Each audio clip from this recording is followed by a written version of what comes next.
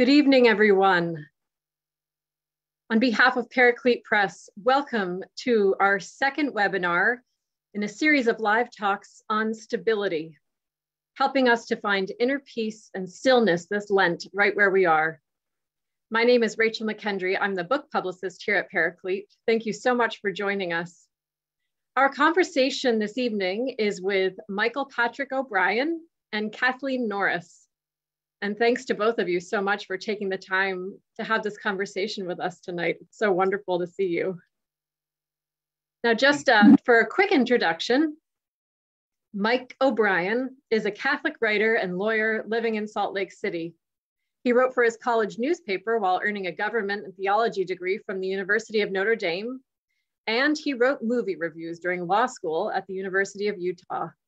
Mike is a partner at the law firm of Jones Waldo, Holbrook, and McDonough. He's married to Vicki, a preschool teacher, and they have three adult children and one very cute grandson whom I've seen on social media.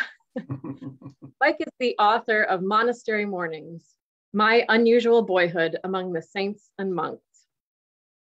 And Kathleen, Kathleen Norris is an award-winning poet, writer, and author of New York Times bestsellers, The Cloister Walk, Acedia and Me, a marriage, monks, and a writer's life, Dakota, a spiritual geography, Amazing Grace, a vocabulary of faith, and The Virgin of Bennington. Exploring the spiritual life, her work is at once intimate and historical, rich in poetry and meditation, brimming with exasperation and reverence, deeply grounded in both nature and spirit, sometimes funny, always provocative. Kathleen is an oblate of Assumption Abbey, a Benedictine abbey in North Dakota. For anyone who wasn't able to join us right now, I'm already seeing some comments about different time zones and things. Don't worry, um, we'll make sure this available. This video is available on YouTube later on, so people can watch it whenever is convenient for them. Uh, please just take a moment, if you will, and find the chat bar or the Q&A button.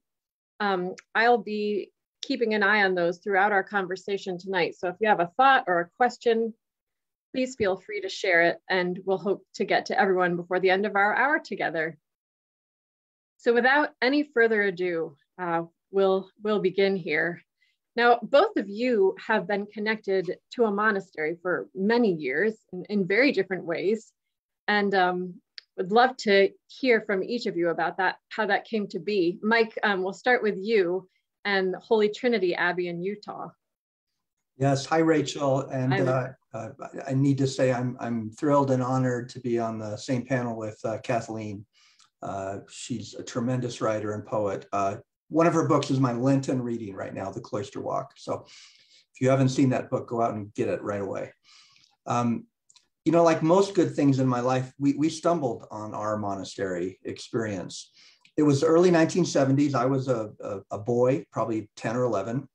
And uh, my mom uh, and I and my siblings had just gone through a terrible divorce. Uh, it, was, it was a traumatic event for our family. And mom was of a generation where she, she liked to go for rides. Uh, and gas was only 25 cents a gallon, right? That's, that's an interesting fact to know right now, especially. Uh, but back then, gas was 25 cents a gallon, so it was a relatively inexpensive form of entertainment. And one day, in the middle of this divorce turmoil, she said, let's take a ride. So we did, and we ended up in a beautiful place called Huntsville in a, a, a rural valley near Ogden, Utah, northern Utah. And we saw a sign that said monastery, and it had an arrow pointing in a certain direction. And like good Irish Catholics, we followed the sign. And we saw another one that said monastery this way. And we followed that one and entered the gates of Abbey of the Holy Trinity, a Trappist monastery near Huntsville. Drove up this beautiful hill. I like to call it Abbey Road uh, to in tribute to my Beatles uh, uh, friends. And uh, we came upon this Quonset hut building, uh, the monastery. The bookstore was open. We walked in, and there was a tall, lanky monk behind the counter. And mom was looking for something. I don't remember what she was looking for, but she said, Can I tell you what I'm looking for? And the monk interrupted her and said, Well, I know what you're looking for, the same as the rest of us peace. And uh, it was a striking moment. And to steal a line from Casablanca, it, it was the beginning of a beautiful friendship. And for the next dozen years or so, from roughly age 11 to 23, Uh, I was up at the monastery two to three times a week. Uh, the monks took me under their wing. Uh, I, I worked on their farm in their bookstore, uh, became good friends with them, and had this whole formative experience that I didn't realize I was having at the time. Uh, uh, so again, I built a career and a life on it's better to be lucky than to be good. And this was an example of uh, a very lucky stroke for a family that was dealing with difficult times. Thanks, Mike. And Kathleen, I, I know you're an oblate at Assumption Abbey. Yeah, and that, that again, stumbling across this place is exactly what happened to me. My husband and I had driven past it's their their tower. They have twin towers that are visible, bell towers are visible from the interstate, and we drove past it several times. And my husband well, that has to be a Catholic church. He was raised Catholic. Now, my ancestry is totally Protestant. The first Protestant ministers we've traced date back to the late 15th century. And my great grandfather, my grandfather, my brother are all Protestant ministers, right? So I had, I had no understanding of, of Catholicism at all, um, except through my husband, who was Irish Catholic. But um, one day I, I, found this brochure in, in the Presbyterian pastor's house, and I said, Oh, this sounds really interesting. Carol Bly, a wonderful writer from Minnesota, was doing a program over, uh, I think it was one overnight, like, you know, two days and an overnight at this place called Assumption Abbey. And I said, This sounds really good. And they agreed. And of course, out, out there in the Western Dakotas, to drive 90 miles to hear somebody give a reading is nothing because they're so rare. Things like that are really quite rare and I had read Carol Bly, and I said, let's just go. So, I, so I went up with these Presbyterian pastors, and uh, their church overwhelmed me. It's a big, giant, you know, uh, cake box of, of, a church with angels that look like Rita Hayworth. I mean, it's really this insane place. Uh, Hungary, a Hungarian artist had painted these things. Um, and I, I get I wake up pretty early. So I was out walking early in the morning and I realized this church doors were open and the monks were at the back in their choir. Uh, and I didn't even know what they were doing. I didn't know they were reciting the Psalms. I mean, I knew nothing about them. And then when it turned out I was kind of interested in joining them for morning prayer, that's when I discovered the great Benedictine value of hospitality. That, oh, yeah, well, come and join us. You can, in that place, you can actually sit with the monks in their choir. They, they don't separate the guests out and they don't have a lot of guests and that really again was the beginning of, of, an absolutely beautiful friendship. And i love that that comment about peace. It reminded me of after the Cloister Walk came out. And of course journalists have a weird way of, of using putting things and using headlines. In the hallway at st john's abbey in minnesota where I was in residence there at the institute um, an institute they post news articles that mention the abbey. And there was this one woman discovers peace at monastery and I and I and I saw that and I kind of laughed. I said, "Oh, that's that's really rich." And an old monk was walking by and he said, "Hmm." He said, "That's interesting. I've been here 60 years and I haven't found it yet." yeah,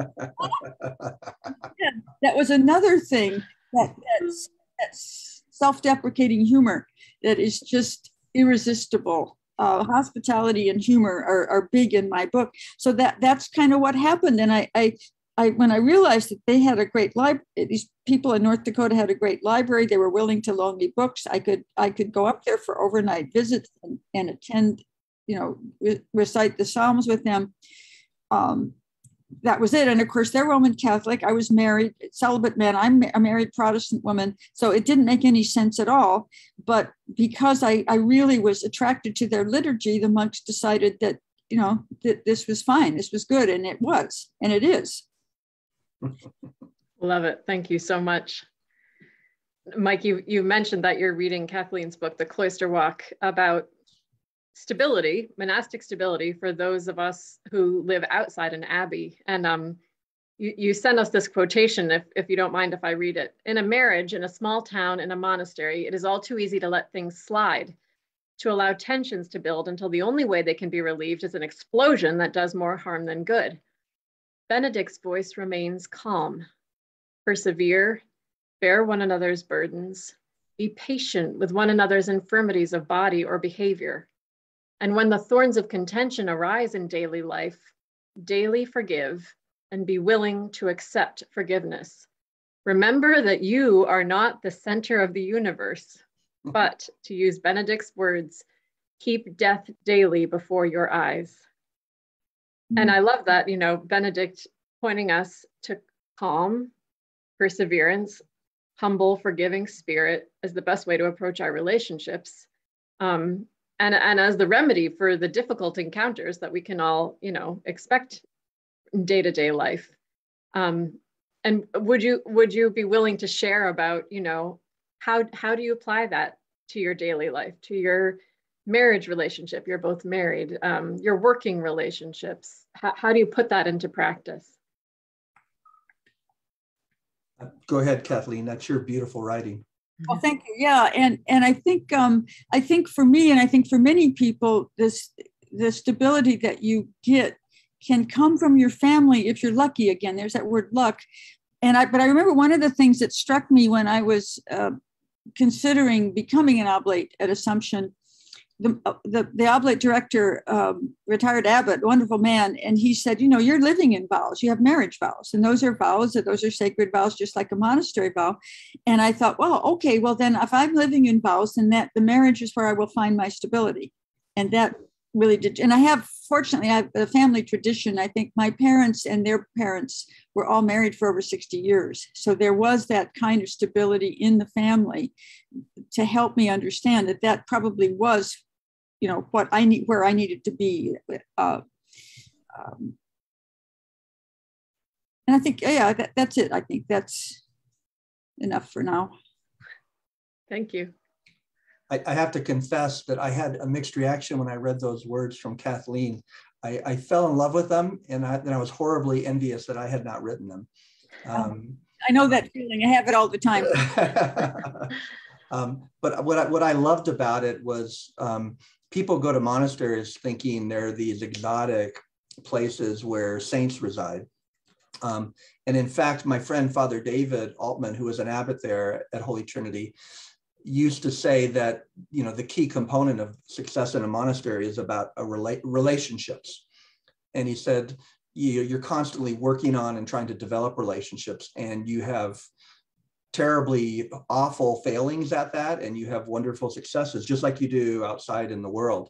Mm-hmm. um, and he said but the key is to to work on the relationships. So this notion of of stability that i loved expressed in kathleen's words was um, you know it's not boom and you've got it right? It, it's something you have to keep working for and it's something that you have to contribute to you have to forgive others and you better hope that people forgive you too um, because you're going to step in it yourselves. So Father David said, how do you adjust to living life in a monastery? He said, it's like a flea eating an elephant. Uh, you do it one bite at a time. Uh, so I, I, I, think the remarkable notion of stability is, is community and, and community comes with uh, understanding, tolerating, and forgiving each other. And I think that's what Catherine's writing so wonderfully expresses. And for well, me, oh, Go ahead. Me, I think um, understanding what stability really meant all, did center in relationships because I very quickly realized getting to know that community intimately in North Dakota was that these were really very ordinary people living in an extraordinary way, called to live that way and trying to live that way. Yes. And the oblate director, the former abbot, said when he was a when he was a novice, and this had been you know 50 years before, somebody had told a lie to the abbot about him and he found out about it and he decided the best thing to do was to just wait it out to not complain not make a fuss just you know go about his business being who he was doing what he was doing and eventually the abbot would see that this was not true hmm.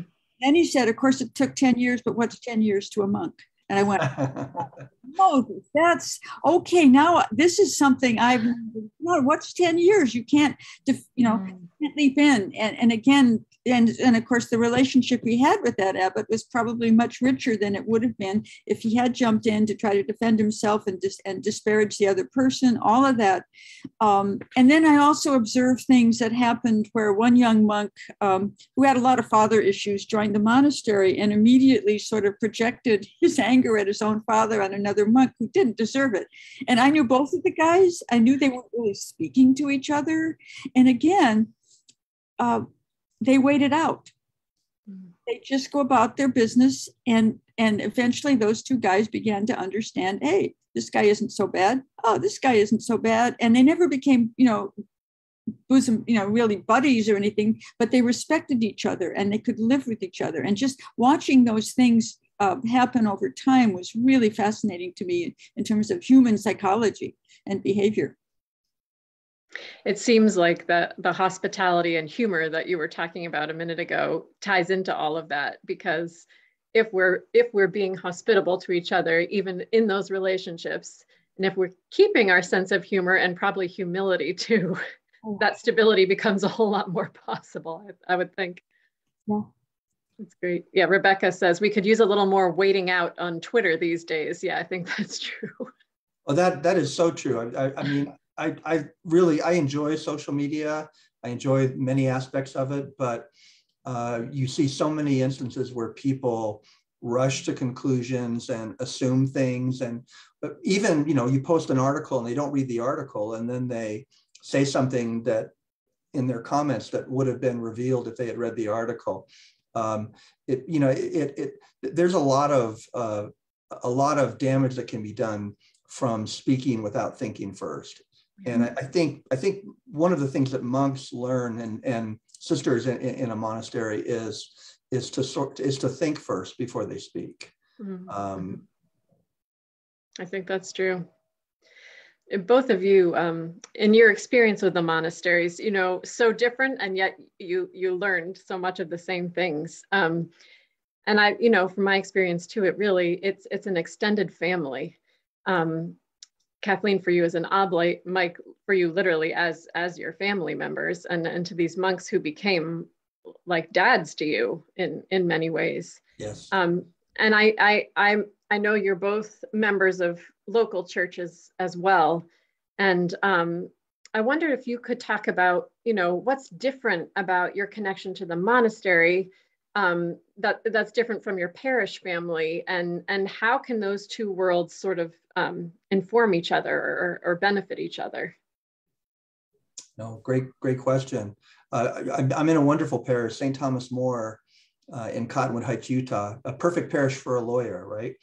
Uh, and it, it is a wonderful community but it's different from the monastery um, you know, the monastery was like home, you know, where you could let your hair down and be yourself. At least it was for me because I spent so much time there and got to know them so well. Whereas in church, um, it's a wonderful community, but I, I'm always, you know, in my church clothes and on my best behavior. Um, and, you know, in our parish, at least I haven't been able to develop the sort of day-to-day relationship with the community and, and our, our wonderful parish priests that I did with the monks uh, because again, you know, we're, we're there on a much more limited basis. And, you know, God bless them, our, our Catholic priests today are spread so thin uh, that it's, it's, it's hard enough for them to, to do their ministry job, let alone do the sort of, you know, day by day, hour by hour pastoral care that, that, uh, you know, I experienced as a boy in, in our parishes and, and at the monastery. So mm-hmm. wonderful experiences, uh, glimpses of what I, I, I had at the monastery but the monastery will always be my spiritual home um, uh, just because uh, like i said i could let my hair down there and and you know like the, the phrase they use in their vow of stability is they uh, I, I, like this language. Says by our vow of stability we promise to commit ourselves for life to one community of brothers and sisters with whom we will work out our salvation in faith hope and love uh, we gradually entrust ourselves to God mercy, experienced in the company of brothers or sisters who know us and accept us as we are.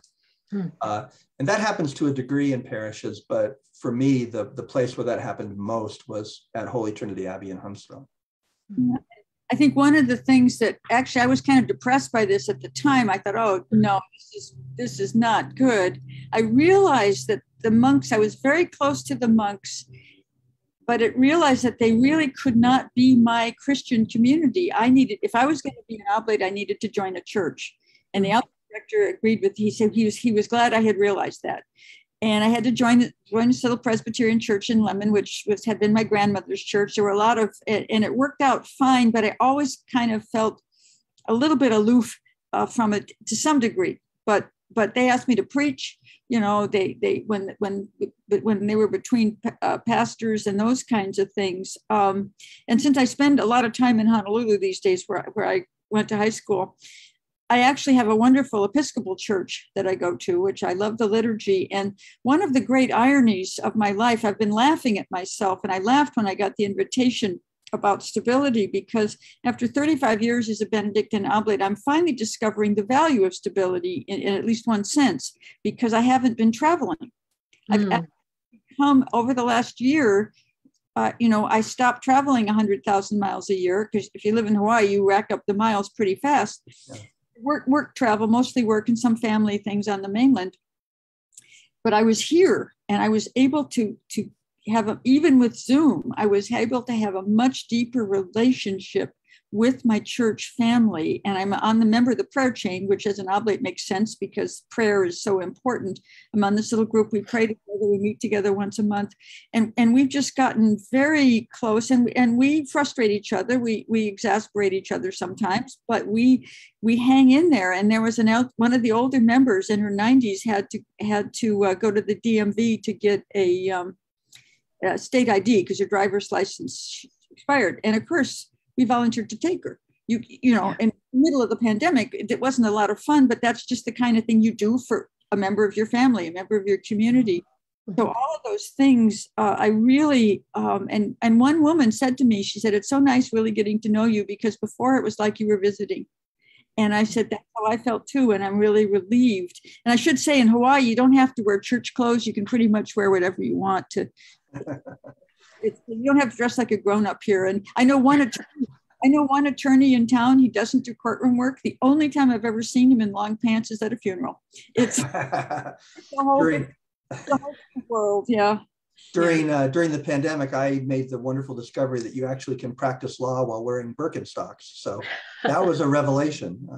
Uh, but how interesting you know going back to um, i can't remember exactly when you said it kathleen but that idea that like you you know people see the monks who aren't familiar with the monastery and they think oh they're saints. They're so holy. But perhaps stability and developing stability and living out stability is in the little things taking each other to the dmv caring caring for those little needs. And, and so maybe there are more ways than we think in the parish to, to keep on um, developing those stable roots together. Yeah. Another thing that happened was, and again, I think this is how church is supposed to be. And I think the pandemic helped make it possible. It may have always been possible, and I just didn't see it. But there was another person, um, a little bit older and in her 80s, and she needed to five weeks of radiation, five days a week. Mm-hmm. And the reaction was, We're not going to let you do this alone and so we we set up a schedule. So and i was one of the people doing this that people would take her to her radiation treatments pick her up at home drive her back. And towards the end when she got a little tired she did very well but when she would get tired we'd, we'd stop by and pick up some food meals so she wouldn't have to cook meals for herself because she lives a widow she lives alone. But th- that instinct oh we're not letting you do we don't want you to do this by yourself mm-hmm. part of this community. This is what this means. And I remember thinking, wow, okay, this is community. Yeah. yeah. It, it, certainly adds to my sense of stability in that community that this is the kind of place where this can happen. Yeah. Um, it was last week that Nathan Oates was talking about um, the Cistercian brothers in, um, I'm going to say the wrong thing, Tibhirine, where um, Oh, yeah. Instead of seeing themselves as the birds who are flying away, they realized, no, we're the branch that the birds can perch on. We're, we, we need to be there for our brothers and sisters as much as we need to be there for ourselves. So that's um. I think it was one of the Muslim villagers who told yes, who said that? Yeah, yep. You know, you're the branch for us, and they were, and it, it was a tragic thing that, that happened. Mm-hmm that that's a lovely image. It, it reminds me of uh, the monks now. There's three of them of the Utah monks left, and of course they're all in their late 80s or early 90s, and they're in a retirement home here in Salt Lake. So they're actually closer to me than they've ever been, uh, uh, you know, uh, uh, physically.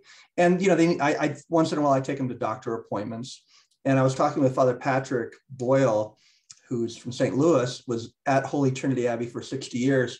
he almost went to Gethsemani when when the Huntsville monastery closed, Oh. but he decided to stay here with the other monks who were going to the to the retirement home. And so I asked him, I asked him why, and he said, you know, Mike, uh, my vow of stability is not just to a place; it's to a group of people too. Um, and he said, I wanted to stay with my brothers. Um, and of course, after I stopped weeping, I I uh, uh, I realized what a what a beautiful statement that was about the notion of community. Um, and it's not just about the stone walls. Um, it, it, truly is, you know, the entire tree. It's the branches, it's the leaves. You know, they, they their sense of community and stability is a commitment to the whole place. Uh, and they, they truly do that. He and Father David, they still say the divine liturgy together. And, mm-hmm. and uh, um, it, it, it, it, just is, is, it's been wonderful seeing them away from the monastery and sort of establishing their own little branch of it in a new location. I love that.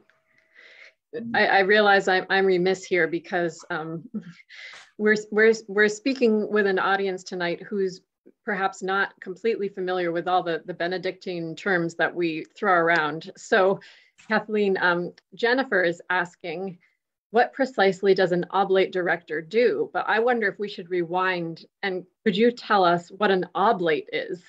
It's a very ancient term, and in, in medieval era, uh, it's an oblate simply means an offering, and families would would park would would pack their extra kids over to a monastery, make them oblates.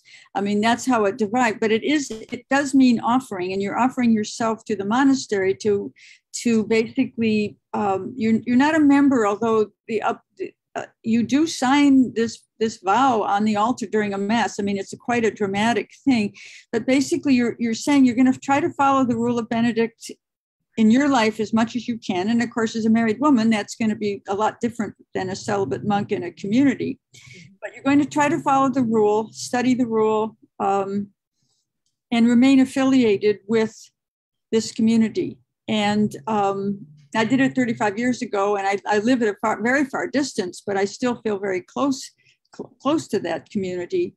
Um, and the oblate director uh, basically is the person who gets together with the app. He, he you you often take a year or two to study before you become an oblate. So you would study with that person. Many larger monasteries will have monthly meetings. Some oblates get the ones who live close by get close together. Of course, now they're doing it on Zoom too. Uh, and you know, to to have uh, one of the monks might come and give them a lecture. They come to prayers with the community during that period.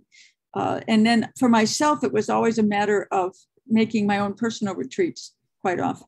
So there's a variety of things that happen with oblates. And, and I was the first Protestant oblate at Assumption Abbey. They'd always had Catholic oblates before, but that has become not, a, not an issue of really. Thank you so much. Thank Jennifer, I hope that answers your question. Um, Thanks for all these comments coming in on the, the chat bar, everyone. And I, there's a question in our Q&A and I promise I'll get to that one. Um, I, I would love, um, Kathleen and Mike, if you'd be willing to talk a little bit about um, just sort of another aspect of everyday life for us in, um, in our work.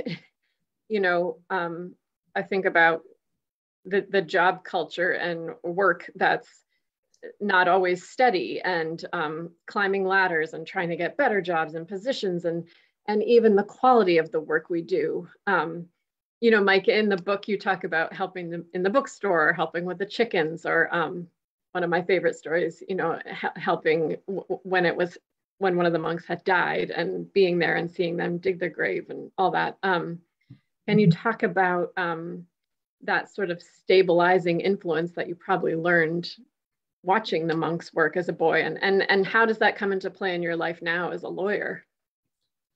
Great questions yes. So again you know uh, we were sort of a family in turmoil um, you know with a divorce uh, and uh, my father wasn't present in our lives uh, for a variety of reasons uh, and um, you know here i am around the 33 uh, you know men who are working on a farm and and uh, you know singing and and planting flowers and and uh, uh, uh for some reason they they noticed me um, you know I, you know maybe you know, maybe I was a surrogate son to them, right? A 11 year old boy, and 11 year old boys can be kind of interesting.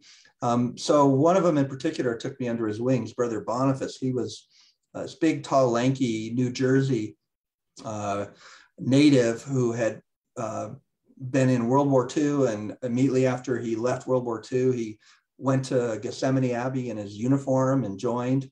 Uh, and in 1947, 75 years ago this year, they sent him out to Holy Trinity Abbey. And he became the, the monk I, I knew best. So he'd let me follow him around. Uh, I don't think I added dramatically to the uh, efficiency of the, you know, the work operations he was involved in, but but he included me. Yeah. Um, he saw me, and you know, at, at a, an 11 year old boy whose family is going through a divorce uh, doesn't feel seen um, and feels left out. And so that was a very stabilizing moment for me to be seen by somebody who could have been, you know, could have spent his time doing something else.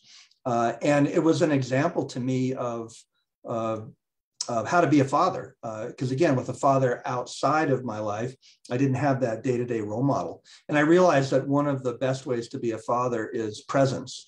Uh, P R E S E N C E, not P R E S E N T S. um, presence, being there, because that's that's what what Brother Boniface did for me. Mm-hmm. Um, and then the other lesson, just quickly, uh, you know, fast forward 50 years. Again, I'm talking to Father Patrick at the retirement home, and I said to him, "How did how was it for you to spend 60 years in a monastery and then to be totally uprooted and put in this retirement home?" and and he he he's unflappable. And he said to me, you know, I I, I learned a, a, doctrine, a concept that I follow. Uh, it's called the sacrament of the now moment. And he said the the past is the past, and God will take care of the future. So I have to live in the now moment. Hmm. Uh, and what what a concept, right? Because I was living in the now with Brother Boniface, 50 years ago. Uh, and then I hear Father Patrick describe it. And now, fast forward to my job, you know, the Salt Lake legal market is in turmoil right now. All new firms coming in, a lot of changes. Uh, you know, turmoil within within my own firm. I don't know what our future status will be.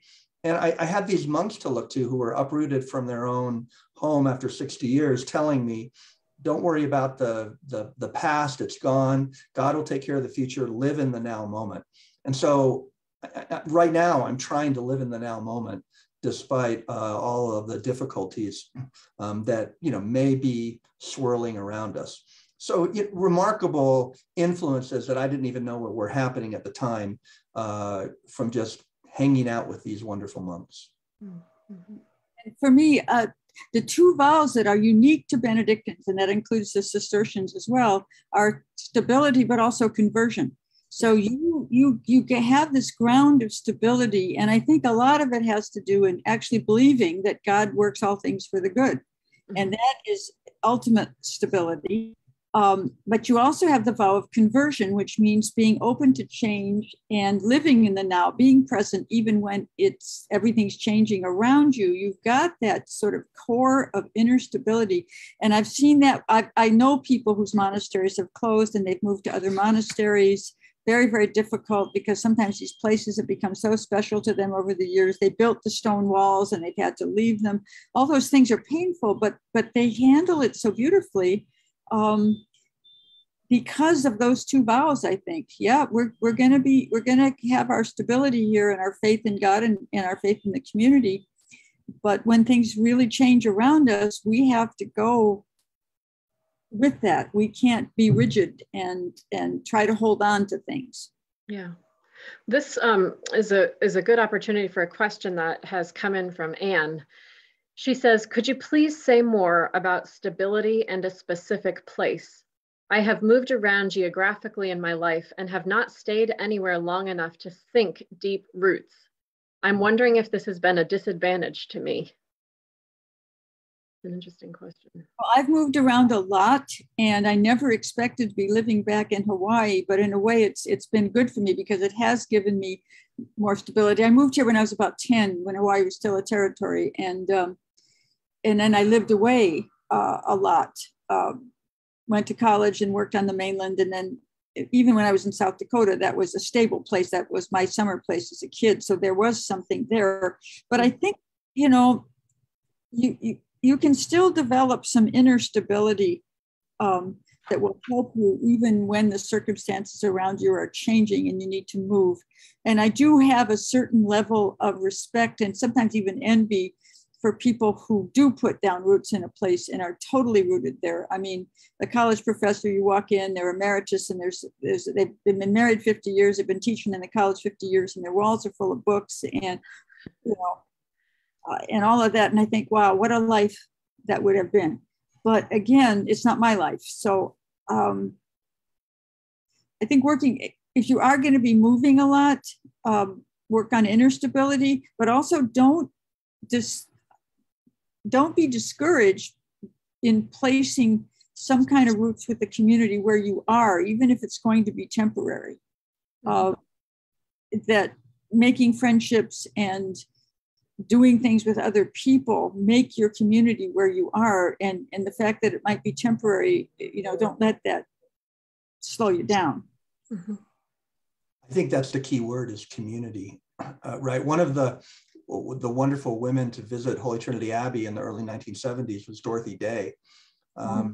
and uh, you know of course in in her book the long loneliness she wrote um, we've all known the long loneliness and we've learned that the only solution is love and that love comes with community.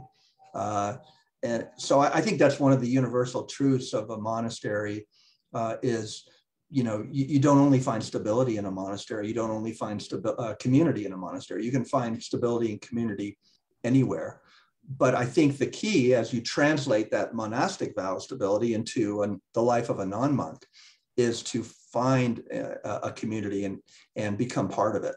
Um, uh, I, I think that's one of the key secrets. Can I ask you, I know, Mike, that you you keep, even though Holy Trinity Abbey isn't there, I mean, the land is there and you're doing such a beautiful job of preserving it and, and um, keeping the spiritual life alive there. Um, but Kathleen, you're in Hawaii, Assumption is far away do you maintain a relationship there? We have a question from someone who has moved geographically away from the Abbey where they're in Oblate, and they're asking, how, how do I maintain those ties? Is there a way to do that? Well, you know, snail mail and email work really well. I actually haven't had Zoom conversations with the monks there, but that's something I might suggest sometime get together because I, I do I frequently get emails and they I go on their Facebook. I always make comments, you know, with their their um, um, you know, the name days of the monks and everything. And I always say hello from Oblate Raphael, you know, and, and they know who I am.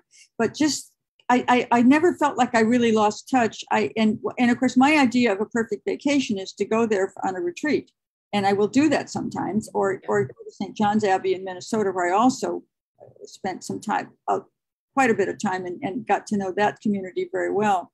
So uh, I think all my almost all my Christmas cards now come from monks and nuns. I mean, that's we, very that's very cool. I, we, you know, and and um, so there are the ties that you can try to maintain, but if you can possibly get there once a year or once every two years to just you know submerge yourself in that liturgy again and remind yourself why this community is doing what they're doing, all of that. I mean, that is my idea of a perfect vacation.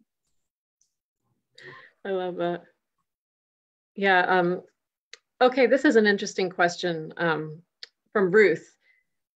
She says, is stability always a geographical place or can it be an internal space? She says, what you are describing sounds very Buddhist. Yeah. You know, when I wrote the Cloister Walk, one of the best responses I got was from a Zen Buddhist monastery, in, uh, I think in either Washington or Oregon. And they said, We love your book. You've described our life very well there are there are the, the, is very different, but there are a lot of similarities in the values, the kinds of stability that comes um, in in the way they live. And mm. so, uh, it, you know, the Thomas Merton, of course, died at, at one of those first um, Buddhist Christian dialogues, but it's been going on since the 60s. I mean, they exchange program, everything. So the Benedictines and Buddhists often recognize kindred spirits there. And I do think there's inner stability um, that, that really does matter. And I think part of it, I think um, living with uncertainty, which we all do all the time, but sometimes there are situations like medical issues arise and everything. And any ever deal with doctors, you know that medicine is is a, a lot of it's a crapshoot. You know they don't they don't have answers, definitive answers. You're living with all this uncertainty, and I think, um, and, and actually I'm going through some of that now. And I think my doctor can't believe I'm not more upset. And I kind of go, well, you know, these monks have a way of getting, you know, getting into you here. This is like, no, I, I'm not losing sleep over this because this is just my favorite theologian, the George Carlin, the Church of What's Happening Now. And, um, you know, it, and I think if I hadn't discovered the Benedictines and really become an oblate and tried to follow their rule for all these years, I think I would be a basket case right now. I would I wouldn't be handling a number of things. I would say easily, but I think as with the kind of stability that I'm finding, that I'm discovering that I actually have in the hmm. last year or so. The last uh, abbot of Holy Trinity Abbey was Father Brendan Freeman. I know him. Yes, uh, wonderful man. He's now at New Melleray. And when uh, when when he helped shepherd the closing of of the Huntsville Monastery, he wrote an article for Cistercian Quarterly called "To Close a Monastery," which is a beautiful article. I recommend it to anyone. Um, and at, at the end of that, he referred to what he re- said is, uh, I'm, I'm not going to say it as eloquently as he did, but he talked about our only true monastery is the monastery of the heart. Um, and I, I, think that's completely true. I mean, stability can be to a place, of course, it can be to people, like Father Patrick said. Um, uh, but ultimately, you know, as we move, we have to reestablish those bonds. Um, and maybe those, the only place will be in our heart that we take from one place to another. Hmm. I'm glad to know he's back at New Melleray because I, I want to get in touch with him again. He's a wonderful writer, and I believe I read that piece, but now I want to look it up again. Yes, it, it, it it's excellent. Um, Gloria is asking, she says, Our Benedictine monastery is no longer able to support the oblate community we are beginning the process of where to go from here. And do you have any suggestions? Oh, I'm curious about that. I know I know some monasteries have closed and have done that have closed have oblates have gone to other monasteries, but I've never really heard of I'm not sure what she means by supporting. I mean, maybe not being able to have them come on retreats or have the group meetings that they used to have. Mm-hmm. Um, oh, there's some people she should get in touch with. Um, uh, let me.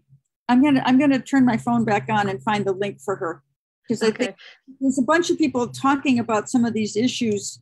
Uh, yeah. For, we we've been we met all through the pandemic. In fact, um, I just have to just see if I can get their email for her because I think she would find some very some people to talk to. So let me okay. let me turn my phone back on and Having, well, while you're doing that, another recommendation has come in saying um, to, to look at the website, website, excuse me, beingbenedictine.com because there's lots of um, information and opportunities there. That's it. In fact, Saturday they're having a big meeting. They don't, you don't even have to register for. If you go to beingbenedictine.com, I guess it is. Is it org or com? Uh, she says beingbenedictine.com, but I'm not 100% sure double check. We'll, we'll, try to find out, and when we send out our follow-up email, we'll um, we'll make sure we give you the right thing. And um, Mary Jo says there's an online monastery group at Sacred Heart Monastery in Yankton. So so that's one of the you know strange mixed blessings of the pandemic is that we we really are more connected than ever over things like Zoom, like here we all are tonight. Um, having lost the, having lost our monastery here, one of the ways we've uh, compensated is uh, I call it the, the monk nerd club. Um, I, have I've made many, many new friends that I didn't know uh, prior to writing this book of people who have the same wonderful experiences at Holy Trinity Abbey. And we have this informal network where we, you know, talk and reminisce about the monks and share stories. And a number of them are not even Catholic. In fact, the man who owns the, the property now and is preserving it, Bill White, is not is not a Catholic, but um, you know, part of the way we continue that that relationship with the monastery is through each other. Uh, it, it, drives our wives crazy sometimes when we go to dinner and all we talk about are, are Trappist monks. But um, you know that the, the, the those sorts of the spirits live within the people who knew them too, and and so you know much like uh, you know this is uh, maybe a bit of a stretch, but you know much like the you know the early Christians had to find a way to adapt to a life without Jesus um, after he he died and, and rose, they you know they found it in each other, um, and uh, you know with the monastic movement struggling right now, I think it's going to be people like us, people like Kathleen, who and, and all of our friends and people who are interested in in in monasticism, uh, who will become that uh, that source of uh, how to talk about monks, even though monasteries have closed. Mm-hmm and this is a huge thing because I don't think anything can really replace these people who spend five or six or seven years in formation and live together in a community. There's no real substitute for that. And I think I think monasteries have been around for 1700 years, so I don't think they're all going to go away. I think we're going to still have that some form of that traditional monastery, but being it, it is being Benedictine at gmail.com. That is great. That, they're having a program Saturday. You don't even have to register. You can just find the link and join. And one of the topics is, you know, what what do you do when your monastery closes or those things. There is a group called Monasteries of the Heart that doesn't have a physical location. I'm not sure how well that would. I, I don't think I would like that, but I, I, I know for some people it works really well. So there's a lot of uh, fermentation and experimentation and talk going on because communities know that they're at risk of closing and they often will join another larger monastery and keep mm. that. Um, there have been some beautiful examples of, of that working very, very well. But it has some oblates do feel um, kind of left out. They, they, they have a real hard time because they've gotten very close to a community, and when it closes, it, it can be very painful for them and the monastic people too. Mm-hmm. You know, we've we've talked about um, stability, obviously, and and we touched on conversion a little bit. Um, but again, for, for, for those of us who, who don't live inside the cloister, how, how about those other, those other vows, poverty and obedience? Actually, I don't think Benedictines take the vow of poverty. I think, but but it's it's implicit in the rule that they're not to own things. You know that they don't own things. Um, I don't know. I mean, it's very countercultural. It's very un-American to not want to buy more stuff. But I think um, for me, the monks have always been a good example of not following the trends either in in thinking or in in terms of products. You know do you really need this new thing. Is it really new and improved? Um, they've helped me there anyway. Um, the trappists do take vows of poverty and obedience and um, I, i'm not the most obedient person in the world and i'm obviously not poor uh, so I had to translate those vows, just like I have tried to translate the other vows. And for me, poverty means trying to live a more simple life. Mm-hmm. Um, you know, Brother Boniface, the monk I mentioned earlier, when we would go up there, he would give my mother envelopes full of, of cash. And, you know, they weren't payoffs or kickbacks. Um, she would send them to India, to the to the uh, the, the, leper colony in Hawaii, uh, to uh, all these different places of people who would write to the monks and ask for help. And mom was a conduit for sending it. And so, you know, years later, I was I was watching It's a Wonderful Life, and there's that line where you know Clarence the angel talks about not using money in heaven, and George Bailey says, "Well, it comes in real handy down here, bub." Uh, and it reminded me of the monastery because they had money, but they took a vow of poverty. In fact, there was a monk giving my mother, you know, wads of cash in an envelope that she would distribute to people who needed it. And I think the lesson I took from that in, in terms of poverty is that that money is, is a tool we can use to, uh, to, to bring the light of, of, of Christ into the world. Um, and that's certainly what those monks did. And in terms of obedience, you know, I, I, I struggled with translating that one until I found a, I'm not a Hebrew or a Greek scholar, but I stumbled on a website that said the original word for obedience actually also means to listen. And, and I, I, thought, wow, that's what that is, right? I, I, I don't have a vow of obedience as a non-monk, but uh, I can certainly listen better to other people, uh, to my family, to my friends, uh, to my clients as a lawyer. Um, so I, th- that's how I've tried to, to deal with those vows in my own life is be more simple and listen better. And, and the monastics I know have been an inspiring example of that, where people who listen so well, they're hearing what you're not saying as well as what you say. They've, right. Right that stability in monastic community has taught them how to listen really really well. And I'm I'm not sure i'm a very good listener but i'm trying because they've made me aware that that is really important. I i I'm, i i know how i feel when i know i've been really listened to and i want to be able to provide that for other people. And and sometimes when that has worked it has led to some incredible conversations with people i never really thought i liked or never thought I would ever get to know, but because I listened to them, it, it's it's very important. It is, yeah, that is the the origin of, of the word obedience. Helen, Helena's reminding us about Saint Benedict's words to listen with the ear of the heart. Listen Imagine how hard that is for a lawyer. Um, you know, because we lawyers, you know, we, often the way we listen is is uh, to either wait until someone's done talking so we can say what we want to say or to figure out how to rebut what they're saying so you know certainly listening in the in the monastic sense of it is is something i struggle with and try to work on um, uh, yeah, uh, you know, my wife Vicki can give you a report card as to how well I'm doing. Um, hopefully, she'll be gentle. But I would think with clients, it would be very valuable because sometimes people come with what they think is their legal problem and it's actually something else. Yeah, 100% correct. Mm-hmm. So true.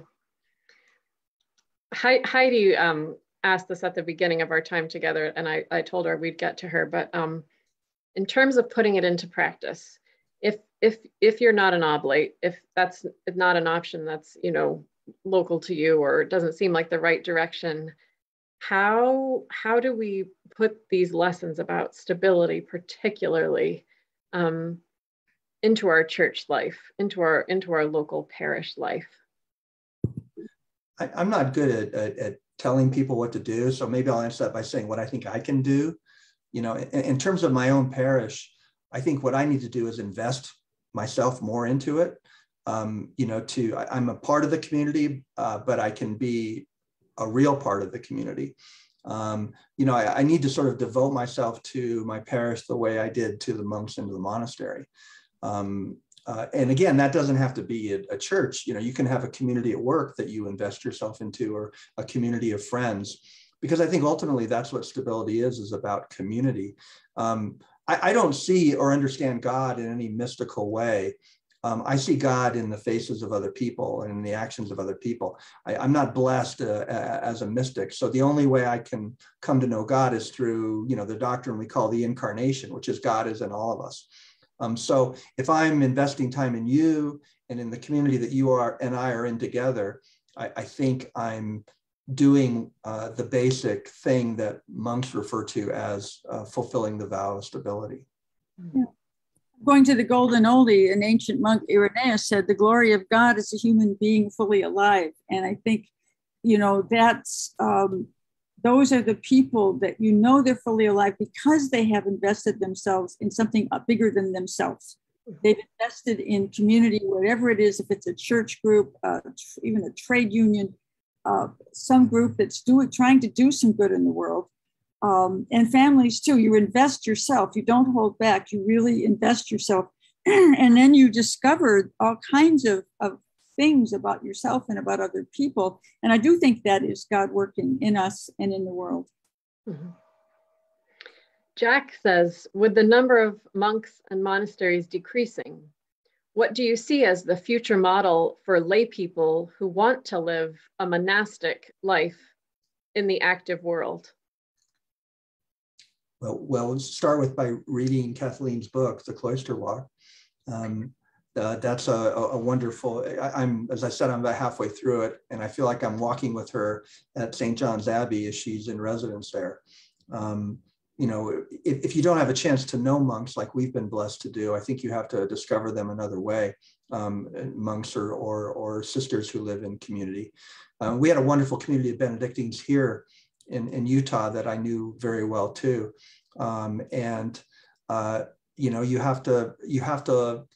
It's not going to be as easy to stumble upon monasteries uh, for the next several years as it was for me or for Kathleen, and and so uh, you know we're going to have to compensate those of us who are who are looking to that example. And I'll recommend a book that actually helped me when I was thinking of becoming an oblate. Um, and a monk recommended her, Esther de Waal, D E W A A L. And she's an Anglican woman, um, British. She wrote a book called Seeking God, which is just wonderful because she is an oblate herself in England. And she, her second book I like even better called Living with Contradiction. And it's just a, I, I realized that the worldview that she gained through her connection with the Benedictines was one that I could adopt no matter what I was doing or where I was living. So I think Seeking God and Living with Contradiction are two books. And I guess, you know, studying the rule of getting together with other people to study the rule, um, finding people who used to be monks or sisters. I mean, there's a lot of them out there that, uh, you know, went through formation and, and have some valuable insights and stuff. Just, uh, but I think studying and but again seeking some form of community might be the best way to to sort of keep that monastic spirit alive even when you can't be affiliated with the monastery mm-hmm. my friend bill white who, who's taking care of the monastery land now and i we have this sort of fantasy dream of 50 years from now somebody walking down abbey road at the monastery and there's farming going around like the monks did and that person perhaps will be reading my book um, uh, reading about the men uh, who lived there, you know, 50 years before. Um, you know, it's going to be a, a, derived, a derivative experience. Um, but uh, uh, you know, I, I, wrote the book because these monks were too uh, modest to tell their own story, but their story needs to be told. It needs to be remembered. They need to be remembered and loved. And if people only love them and remember them through the written word, that's the next best thing. Wonderful. Thank you so much. The, the, the chat bar is just full of comments and questions. And um, I promise everyone that we'll, in our, our follow-up email, we'll, we'll try to um, share as much of this information as we can. Okay, really quickly, Jesus Ramon says, Michael mentioned a club. Can he share more about it? And if he knows of clubs we can join? A, a, club is a it's probably more of a joke. We call it the monk nerd club. It's my friends who uh, know the monastery and had experiences there and we get together informally. Um, i try to blog about those stories uh, from time to time as well. Um, but I, unfortunately i don't know a, a, maybe we should start one. I don't know of a of a good huntsville monastery club i could recommend to them again i think being Benedictine, the being Benedictine, yeah. because you have a lot of monastic people are in that, but also people like me and people who are just interested in monasticism. It's a, it would be a great site for you to go to. Being Benedictine at gmail.org. Okay. Saturday, there's a, a, a, long online Zoom meeting. We'll, we'll be sure to share that link in our follow-up email, everyone. And, and I'm so sorry, but we're really coming to the end of our hour together. This has been such a fantastic conversation. Thank you so much, Mike. Thank you so much, Kathleen. Thanks to all of you who have um, been part of our conversation tonight. And um, I'm saving the chat now so that if there's anybody I missed, hopefully I, I, we can find a way to get back to you. Thank you for all your comments and participation. Um, we sadly, Paraclete does not publish Kathleen's book, but we do publish Monastery Mornings. And we um, at Paraclete, we always encourage you to go to your local bookstore to find these treasures um, as, you know, part of um, an encouragement to help you get these resources for yourself, maybe for your parish, maybe um, for your group of friends who are more interested in the monastic life. Please visit our website, paracletepress.com. If you use uh, the coupon code STABILITY, you'll get 20% off your purchase of Mike's book and the other books that are featured in our stability series this Lent. Um, I hope you'll you'll consider joining us again next Wednesday night. We're going to talk with um, Jonathan Wilson Hartgrove. He's the author of The Wisdom of Stability, um, and that will be a conversation on stability and personal spiritual growth. Um, Paraclete press.com is our website. Again, someone's asking, but we'll send you a follow up email. So all that information will be there, not to worry. And um, then again, excuse me, on, on April 6th, Father Ron Rolheiser will be with us. He's written a fantastic little book called Domestic Monastery. And um, for those of us like myself at home with kids wondering, you know, I, I, I don't have the benefit of being in the cloister. How do I do this? Um, he's got some wonderful, encouraging, and practical tips for the monastic life at home, even surrounded by little kiddos. so again, thank you so much to all of you for joining us. Kathleen, Mike, so, so wonderful to be with you. Um, so grateful for to you for sharing your wisdom and stories and personal things with us. We're, we're really grateful. Thanks again to all of you and God bless you on your Lenten journeys. And we'll hope to see you again soon. I just saw Susan Lardy's name in the in the chat. She's a former prioress at uh, in Bismarck, this the Annunciation Monastery in Bismarck. One of the first Benedictines I met, actually. Oh, fantastic. Yeah, I promise everyone I'm saving the chat. So all your personal messages to Mike and Kathleen, I promise I will pass on. Alrighty. Well, thanks again. Good good night to you in Hawaii and good night to you in Utah, Mike. Good night, everybody. Stay well. Take care.